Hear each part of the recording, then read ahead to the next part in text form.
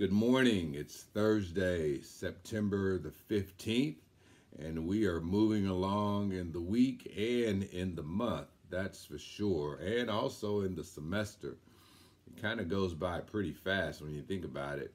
When it's week to week like this, it just kind of goes by. So, uh, thank you for turning in your, your final writing assignment. I'm almost halfway finished with grading them and critiquing them and then I'll be sending um, my comments back to you along with your letter grade, or actually, it'll probably be a number grade um, that you can uh, translate into a letter grade. So I'm almost halfway done. I do anticipate being done grading your um, writing assignments by the end of the weekend because I want to stay on track for whenever you uh, get your second writing assignment turned in the instructions process. So I want to have the uh, final uh, version of your first writing assignment done so I can get started with the second writing assignment. But it takes me about an hour,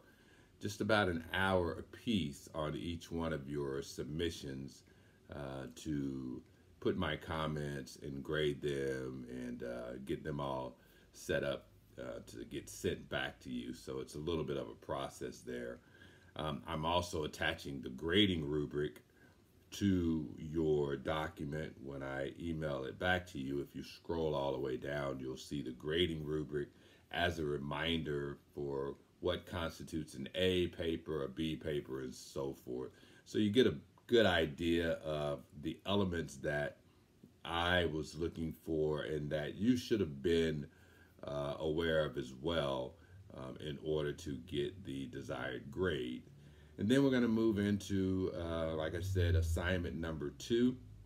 I'm looking for your drafts uh, this uh, weekend. I'm giving you all the way until the end of Sunday to do that. So even starting today, Thursday, you've still got a solid, what, today, and so four days if you include today to get something turned in that um, is workable.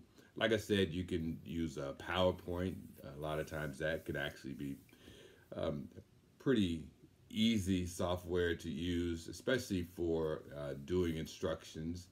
And uh, use the any kind of uh, aids that I provided you. Um, read the book uh, as far as the chapter on doing instructions and then turn me in a nice draft and I'll start providing you feedback next week on your draft for your instructions process as we move forward into the third, the fourth, and then ultimately the fifth writing assignment. It's going to be a lot more writing involved. This is where we're going to get a little bit more scholarly, if you will. Uh, it's going to be more in depth, um, a little bit meatier as far as the projects that we're going to be doing. And I want to give you enough time during the semester to uh, produce some good work. That's why I'm really trying to push to stay on track with these first couple of assignments because as we move forward into the um, research proposal memo, um, those items will require you to do um, some extra reading and to, to read some peer-reviewed articles and some other things you'll have to do in order to put together a, a good paper. And so uh, I want to give you enough time during the semester to get the rest of these writing assignments completed. So let's stay on track with the instructions process so that we can move forward um, in a timely manner uh, with the rest of the assignments. Uh, other than that, the quizzes should be available to you. Uh, be sure and read your quiz, um, take your quiz, read your uh, information in the book, uh, be familiar with that, get your quizzes done. There was no discussion post for this week, so uh, that's not an issue. Uh, your discussion post is actually just putting in your um, your draft of your instruction um, process that you're going to do so that you can uh, review, do one peer review as well uh, with your peers. And I think that pretty much catches us up I've been trying to stay on top of any emails that you send me, uh, any concerns or uh, questions, or even if you needed some grace periods with some of the things that are going on with a couple of the assignments. So I think I'm on top of the emails. Uh, we should be good right now. Uh, keep up the good work. Definitely use the critique that I provide you. Uh, if I provide you feedback uh, on your draft, then definitely take that uh, feedback to heart and make those changes, make those adjustments, because it's going to make all the difference in the world with your grade.